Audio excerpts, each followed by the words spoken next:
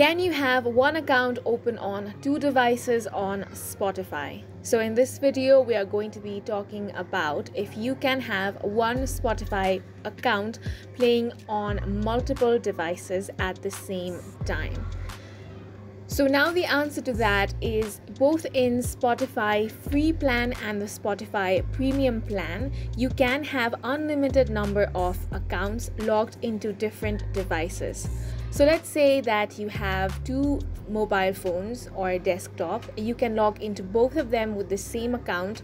So if you have four or five phones, you can log into all of them but the only thing is that you will not be able to play different music from different playlists at the same time. So only one of the devices can be streaming the music at the same time.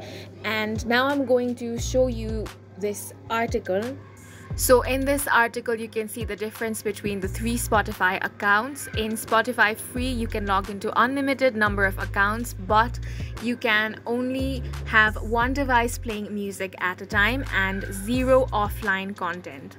The next one is Spotify Premium. In this, as well, unlimited accounts, but only one device playing music at a time and five playing offline content. In Spotify Family, unlimited accounts, but you have the option of 6 devices playing music at a time and 30 playing offline content. So hope you guys found this video helpful. Please make sure to hit the like button and subscribe for more helpful tutorials.